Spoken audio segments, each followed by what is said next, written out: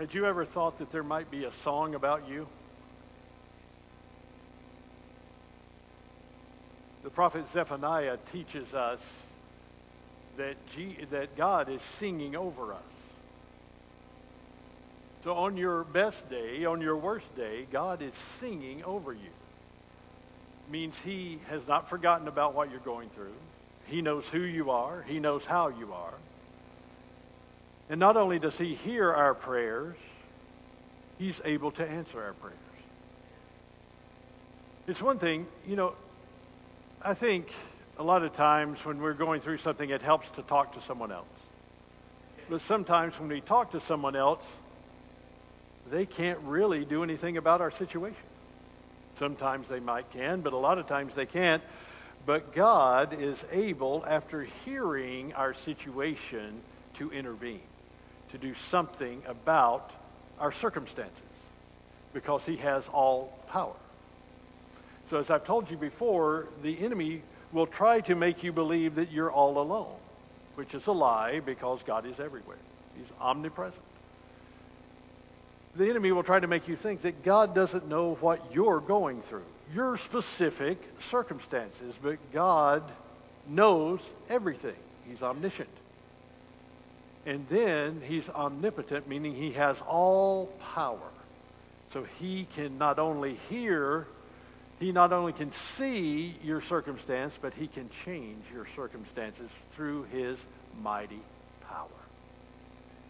And so, how many of you would tell me, uh, you, you know, you should never lie, but especially not in the house of the Lord? How many of you would tell me for certain, you're not guessing, but you know for sure, God has changed my circumstances. It wasn't happenstance, it wasn't luck, it wasn't fate, or what other people say. Let's, let's leave your hands up for a minute. God, at some point in my life, or many times in my life, has changed my circumstances. So you see that I'm not alone here. You don't have to take my word for it. You see in the mouths of many witnesses here, or in the hands of many witnesses in this case, that God changes our circumstances. And so as we go through uh, this series and in this campaign for this year, this 365 challenge, changing our world one day at a time, the purpose of this in reading three chapters of the Word a day and praying at least 36 minutes a day and uh, working uh, 65 minutes a week to minister to someone, to help someone, and then to invite five people to the house of the Lord each month. It's not to be legalistic. It is to establish habits in our lives. The experts, whoever they are, they're probably somewhere with a briefcase or a laptop. The experts will say that to establish a habit, you need to do something at least 21 days in a row. So imagine how we can do this every day for 365 days. What a great uh, situation that we will be in, that we're in the Word, we're praying, we're ministering, and we're sharing our faith. We're inviting people to the house of the Lord. It will just become like second nature to us when we do it, not for 21 days, but for at least 365 days. And so that's the reason that we're highlighting that this year because of the times in which we live. I believe that we are living in the last days.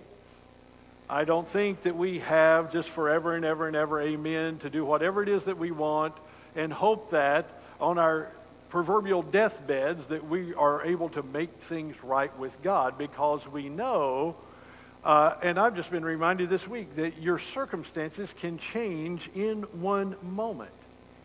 A pastor uh, from Wenatchee, he and his wife were on a trip and they were posting pictures on social media. They were having a great time and car accident and she had to be airlifted and, and to a hospital for surgery.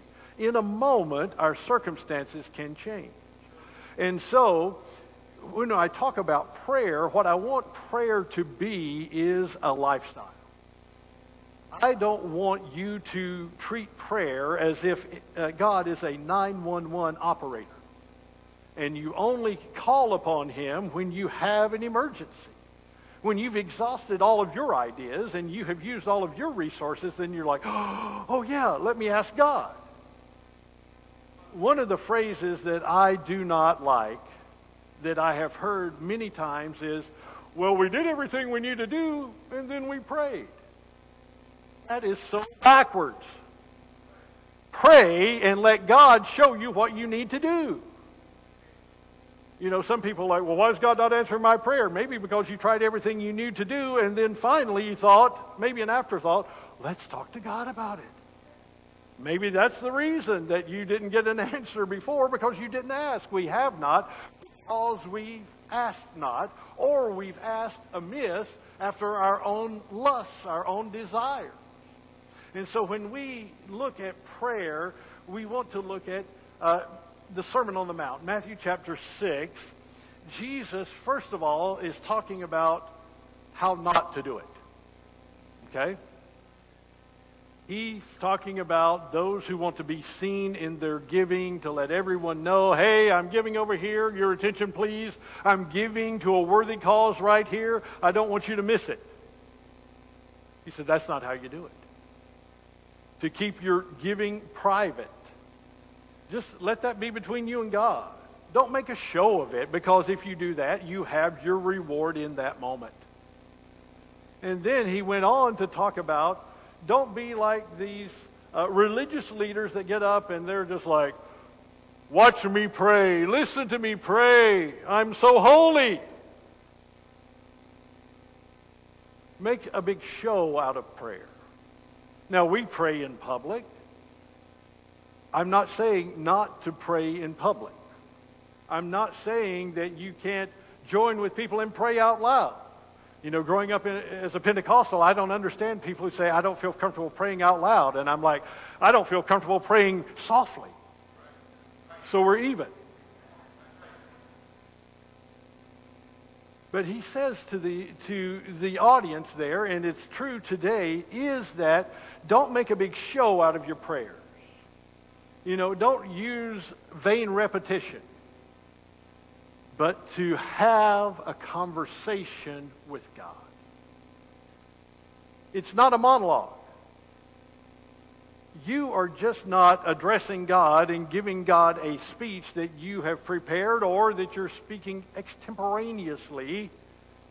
It should be a dialogue. You're like, what?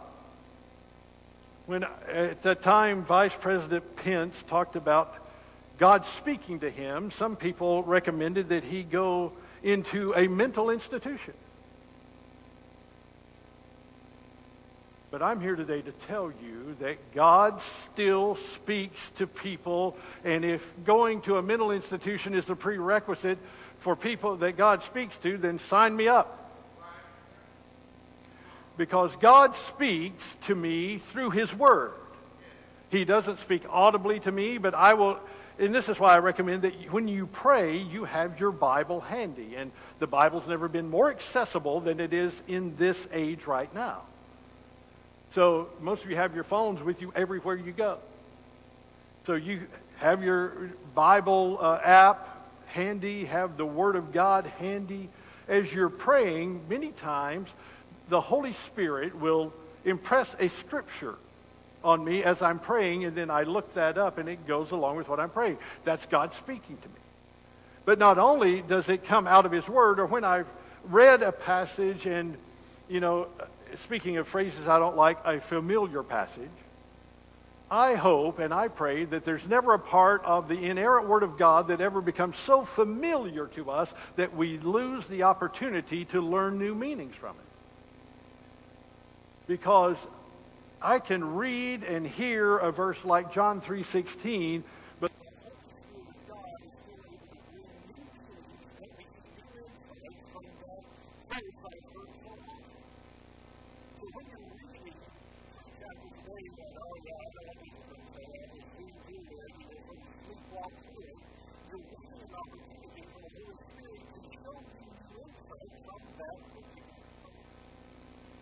was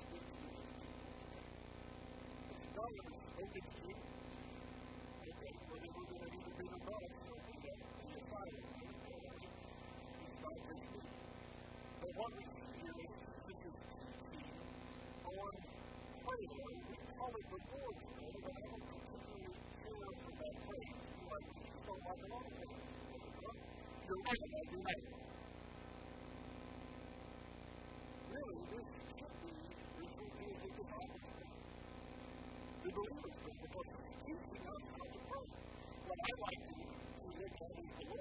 in John chapter 17, where he's praying for his disciples.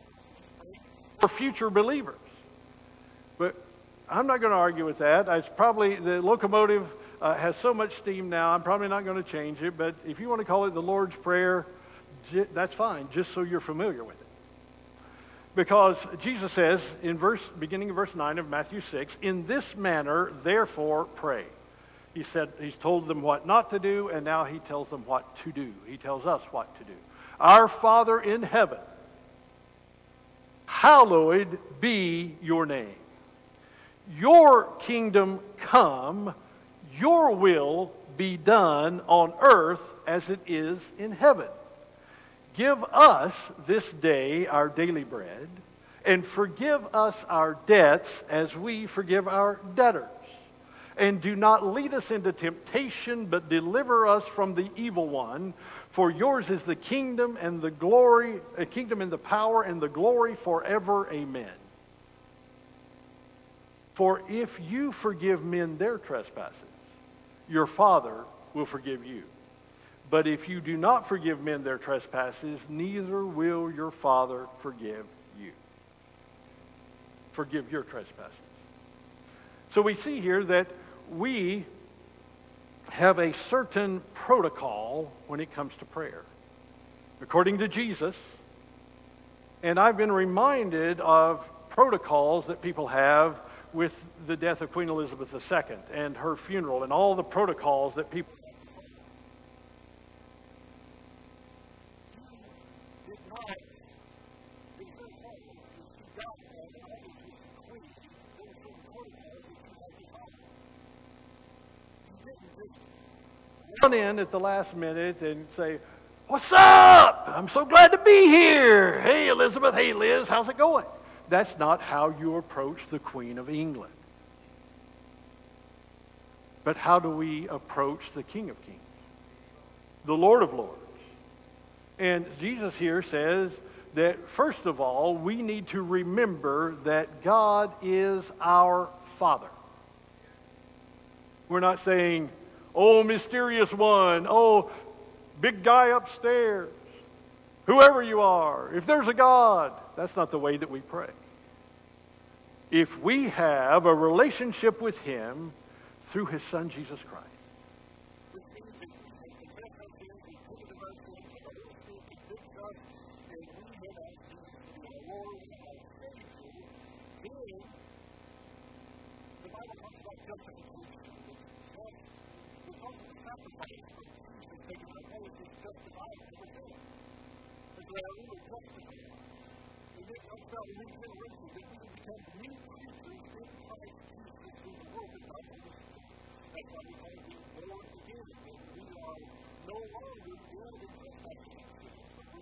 alive through the regenerative power of God's Holy Spirit. And then He adopts us into His own family. So we are able to approach Him, we're able to call out Abba, Father, because of that spirit of adoption. And so when we pray, we're not praying to a stranger. We shouldn't be praying to a stranger how that you approach your earthly father may be different than how we approach our heavenly father because we are to approach him in a reverent manner. Now, we can come boldly before the throne of God, but we need to do it with reverence because he is holy. His ways are above our ways. His understanding is above ours. And so we need to approach him and remember the protocols because he is God. We are not God. We never will be God. He alone is God. He's the one true and living God. And so we address him as our Father. In this word hallowed, or if you like to stretch it out, hallowed, however you like to pronounce it, means to give great reverence, to give great honor. It means to be made holy, to be consecrated. There is no one more holy than God. God is holy. As a matter of fact, he says to us, Be holy, for I am holy. He confesses that he's holy and tells us to be holy. Well, actually commands us to be holy. And so we see here that we should start our prayers with worship. Goes back to that idea of protocols. We don't just rush into God and say, I want, I want, I need, I want, God help me. Ah. That's treating God like he's a 911 operator. But when you have a lifestyle of prayer, then you give God the reverence that he deserves. Because greater than any earthly king is the King of Kings. And so before we ask God for what we want or what we need, because if we just rush in and start laying out all the things we want God to do for us, it's not like sitting on Santa's lap that you say, Oh, I want, I want, I want, I want. That's selfish. We need to, before we ask for a thing, we need to give Him worship. We need to give Him praise. We need to give Him gratitude for what He's already done for us if you are indeed grateful. And if you're not, then you need to come to the place that you're grateful before you approach it. We start out, hallowed be your name, because his name is holy. So I guess one thing I'm saying to you is when you get overwhelmed by the circumstances of life, and that can happen, sometimes it happens often, don't just pray, God, get me out of here. Beam me up because God has a plan for your life and for my life. And the reason that we're still here is because that plan is not complete. And so if you want to pray a selfish prayer, you're like, God, get me out of here. I can't handle it anymore. That's selfish. A better prayer would be to say, God, what can I do for you today? How can I advance your kingdom today? How can you use me? How can you work through me to minister to someone today and advance your kingdom? Because here's the thing that sometimes we forget as humans is that sometimes the way that we receive ministry is to give ministry. Now, we don't think of it that way. You're like, oh, that's the last thing I want to do. I'm going through all of this, Pastor. I'm, you know, I'm just down in the dumps myself, and, and you're asking me to try to help somebody for an hour and five minutes a week. Well, I just don't feel like it. Well, let me ask you to do an experiment. When you don't feel like helping someone, help them anyway and see if you don't receive help as well. So if you come back to me and tell me that doesn't work, then I'm going to ask you to go step by step through it. Because I've found that when we get our attention, our focus off of ourselves, and we turn that focus outward, that's when we're able to be used in ministry. And I'll talk more about that next week. Spoiler alert. But what we find here is that we are praying for God's kingdom and God's will. That is in contrast to praying for our will. Okay? Jesus, in the Garden of Gethsemane, he knew what he was facing. And he was facing some terrible circumstances. And he prayed, God, let this cup pass from me, but not my will. Your will be done. Okay? Now, let me just ask you to take a moment and think about your last prayer or prayers in your mind. You're like, well, I've not prayed in a long time, Pastor. well, then we see the problem. We need to fix that problem. But think about your last few prayers and just how they went and ask yourself, was I praying my will or was I praying God's will? It's human nature for us to pray our will. God, I want, I want, I need, I want. Help me here, God. I'm at the end of my rope. But what if we prayed as Jesus did? Because we're to be like Jesus. We're to be Christ like. We're to grow in our relationship with Christ to be more like Jesus today than we were yesterday. So why don't we pray like Jesus? Why don't we say, you know, all this is going on. It's fine to lay out petitions. It's fine to have requests. But what if we say and mean, but not my will?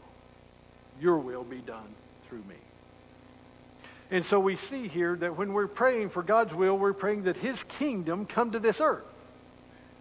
Many times what we think of is, God, take me out of here. God, come and get me. I'm ready to go. I'm tired of this. Stop the world. I want to get off. I'm getting a little nauseated here. I want to get off. But we're praying, as Jesus taught us, for God's kingdom here on earth. Okay, I'm going to meddle a little bit right now. You might want to put your feet up under the chair in front of you if you can, because I might step on some toes right here. We see that we need to pray for God's kingdom here on earth and God's will here on earth. And one of the problems we're facing in the American church today is that we have not done that often enough. We have not been vocal enough because we are, as an American church, afraid. Goes back to, but God hasn't given us a spirit of fear. We're afraid of losing popularity. We're afraid of people hating us. We're afraid of people threatening us. Why would we be afraid of these things when Jesus himself said, They will hate you for my name's sake? He didn't say you're going to win the popularity award because you're a Jesus follower. They are going to hate you. They're going to uh, scourge you and, the, and they're going to throw you out of the synagogues because of me. And so I think that there has never been a more important time for us to stand up and to speak up than today. Because we are the salt of the earth. We are the light in the darkness. We should be that light on a hill in this dark world. And I believe that the majority of us would agree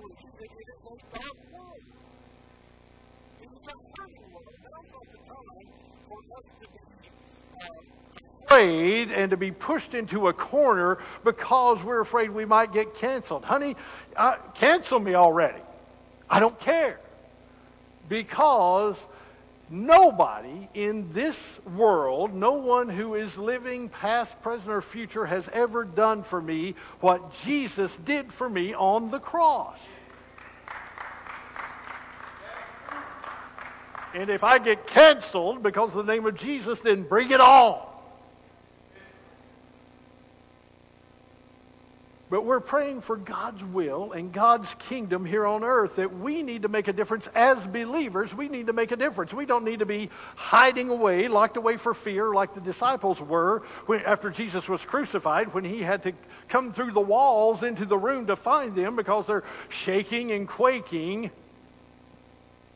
And they received his Holy Spirit, and they, then they had a boldness to get outside of the locked rooms and take the gospel around the world we need to be taking the gospel into our classrooms and into our family reunions and into our workplaces and into the marketplaces because if we actually believe that there is a place where people go and they spend eternity away from God in anguish and being tormented, we should care enough, love them enough to tell them they don't have to do that, that there's a better way.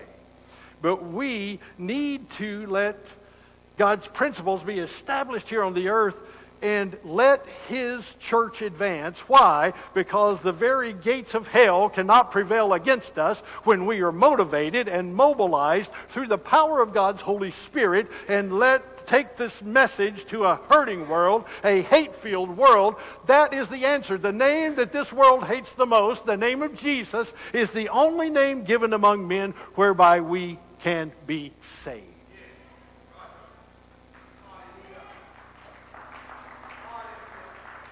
But not only are we praying for His kingdom and His will, when we do that, we're praying for His lordship. See, almost everybody who prays the sinner's prayer is looking for a Savior. But that's not where it stops. Jesus Christ is my Savior, but He's also my Lord. So when I pray His will over my will, I'm letting Him be the Lord. I can't say, okay, God, I want you to be the Lord of my finances so that you can prosper me. I want you to be the Lord of my ministry so that it'll be successful. No, in everything that we do, He needs to be our Lord. He needs to be the one in control. If you're in control, He's not the Lord. Well, Pastor, I've given Him control of 99% of my life. He's still not the Lord. If he's not the Lord of all, he's not the Lord at all. And so when you're praying for his kingdom and his will, you are submitting to his lordship. Yes, I'm happy he's my Savior, but where I grow and become more Christ like is when I allow him to be my Lord. Well, I don't think I'll like that, Pastor. Well, you may not. But he never called us to like it. Let me ask you this. Would you like to be separated from him for eternity? No. So there's things that we may do that our flesh may not like, but we are to crucify our flesh and live for him. So if we pray for and live out his will above our will every day, then we will get in the habit of not just asking him for things that we want. When we pray for and live out his will every day, that's what he's after. So we're also praying for provision and forgiveness. So when we pray, give us our daily bread, that's a good sign. Because we're thinking about others. He didn't say, pray, give me my daily bread. I think about the children of Israel in the wilderness that they went out and gathered the manna for the family. They would go out and they were told, get just what you need for your family today.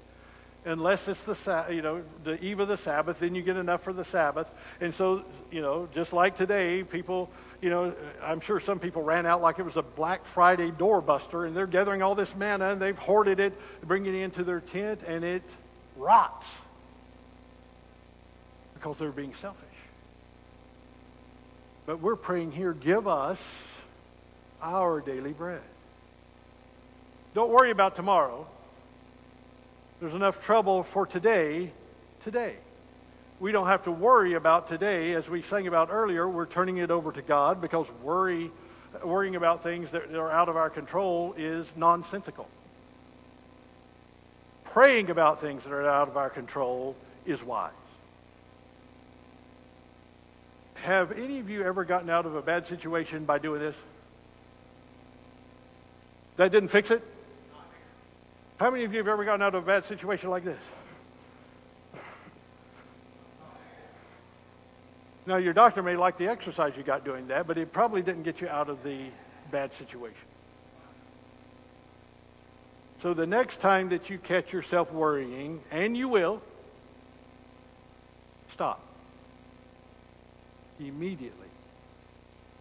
Get down on your knees and take it to the Lord and you will find that is more of more comfort to your soul, and that's how we get answers. Answers don't come like this. Answers don't come by pacing in the floor, you know, rubbing a trail in your carpeting or whatnot. But we, when we pray,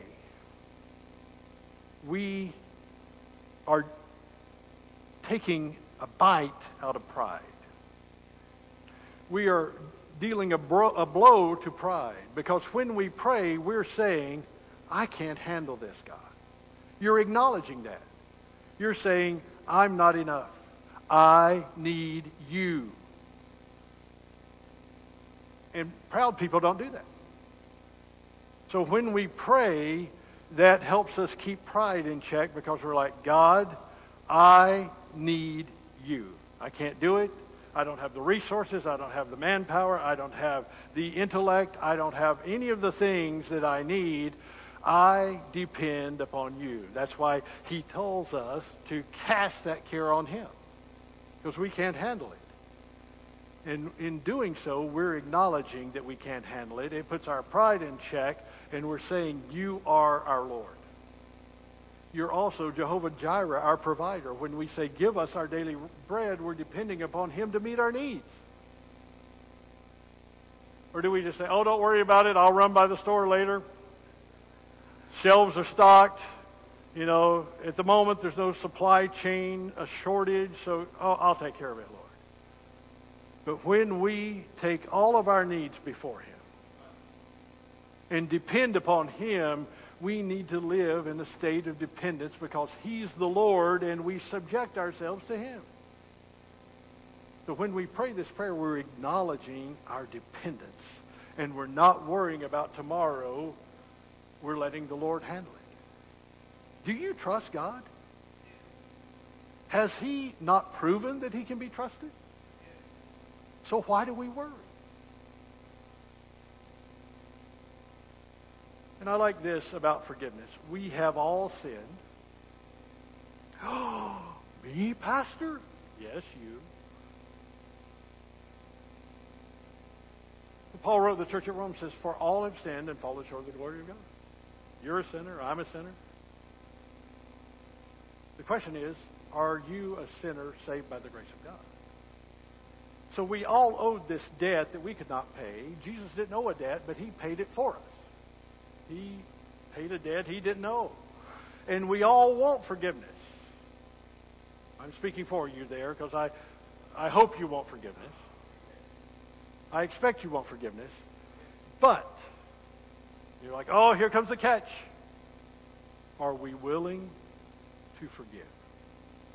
Because they're like this we can't go around with bitterness, grudges, hate, and say, but forgive me.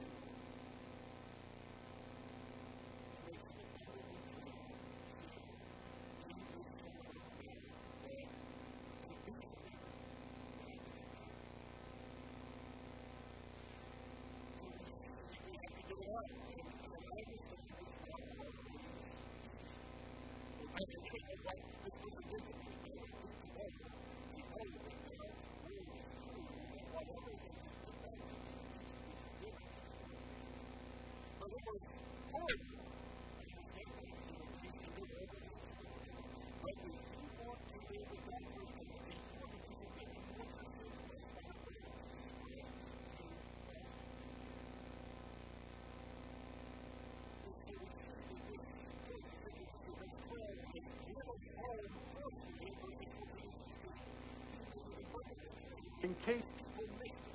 He went back over to say, if you don't forgive, you will not be forgiven.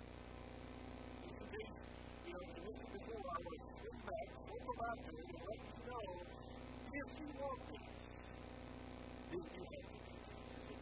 Conditional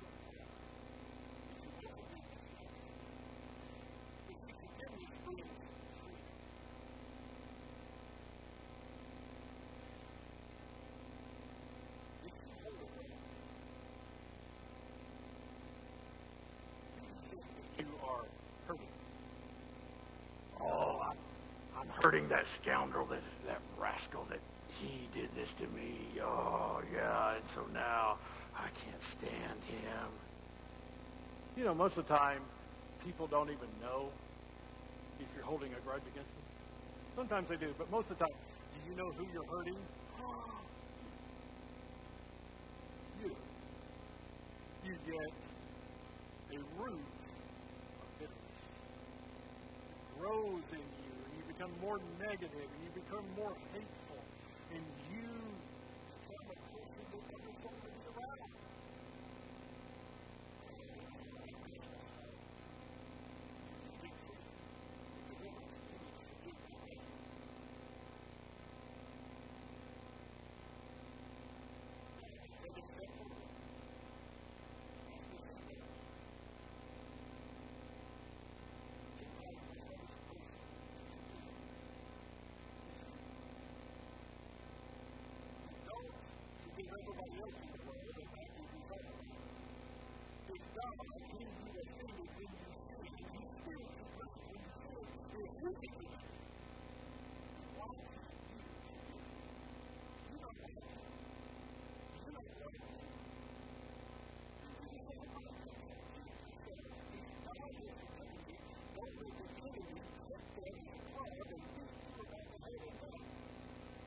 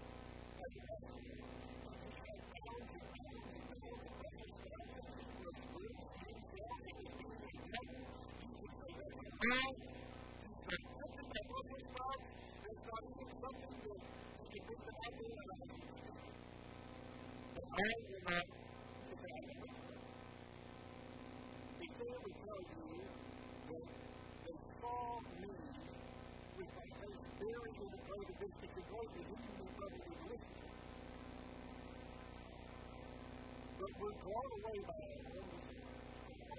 That doesn't fit. So what we're praying here is against temptation. You know, so many people feel bad when tempted. Jesus was tempted. You only need to feel bad if you give in to the temptation. We're all tempted. Jesus was tempted in all ways, and yet he sinned. But that's the key going to be tempted. I'm going to be tempted. But when we stand and we don't sin, so, you know, but I talk to people say, I'm not interested. I'm just tempted to be tempted. Well, don't feel bad about it. That's normal. That's common. Jesus was tempted, and he was without sin. And so, when we think about sin, we say,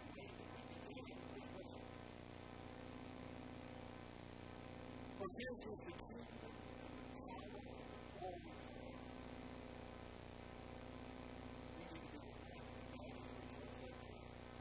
God, God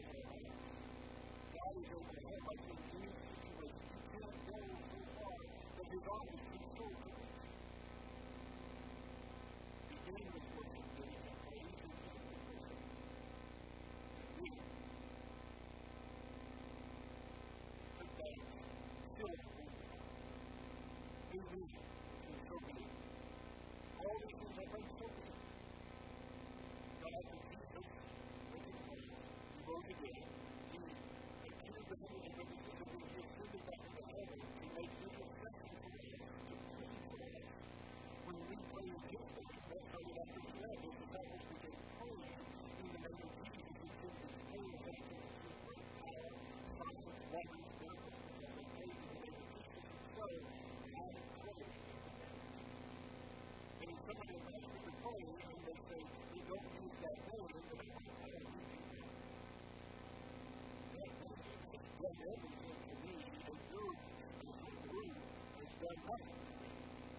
I don't need to appear before you, the Lord.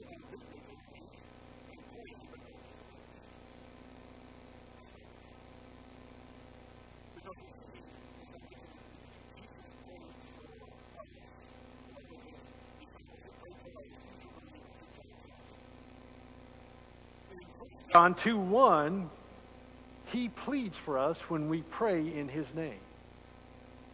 don't you want Jesus taking up your case when you pray?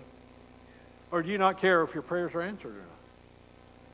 He is our intercessor. He pleads our case before the Father. He's like, I've been there. I've had flesh. I know what they're going through. I was tempted in that same way, and you need to help them, Father. And then we see in Hebrews a beautiful picture of Jesus as our high priest. Jesus is our high priest. Luckily, we can come before him, we can approach him, we can pray in his name. And he is moved with the feeling of our infirmities because of his time being incarnated into human flesh. He knows what it's like. And finally, I want to leave you with these two verses.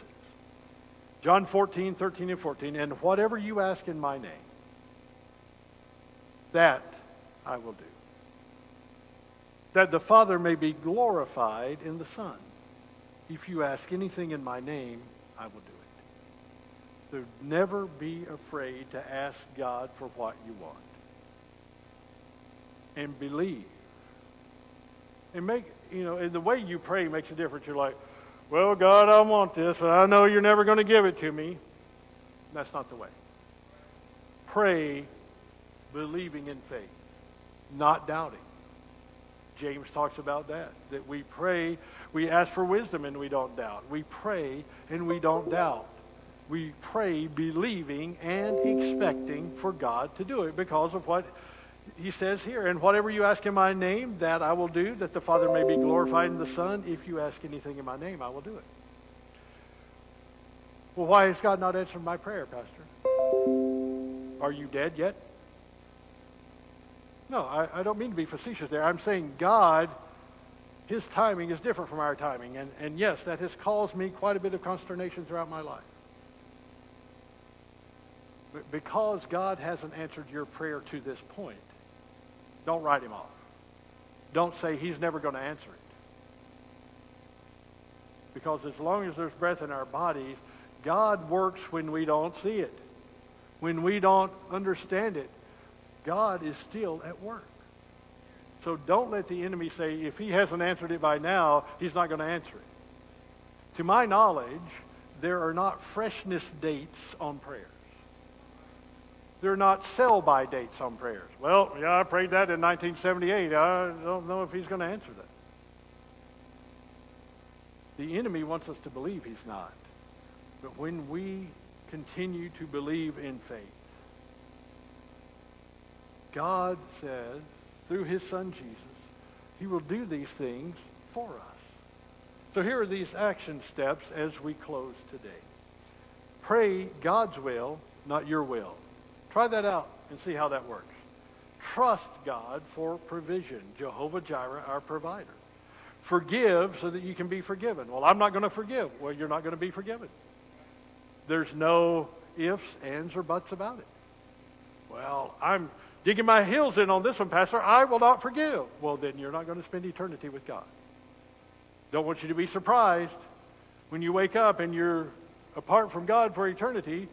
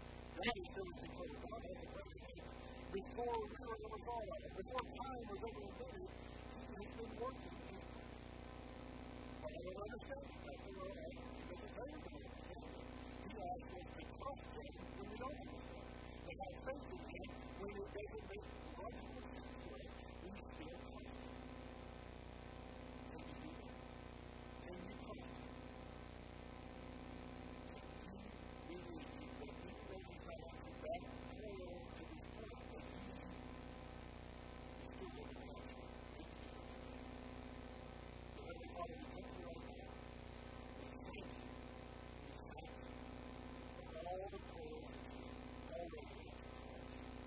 Right? We thank you, first of all, for who you are. We thank you, God, that you love us,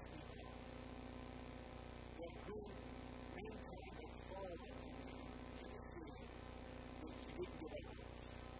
That you love us,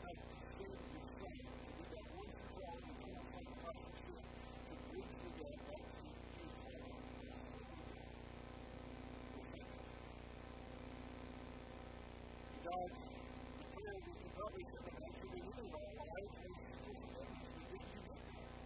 We say, God, I don't believe that you can trouble prayer. So God, I pray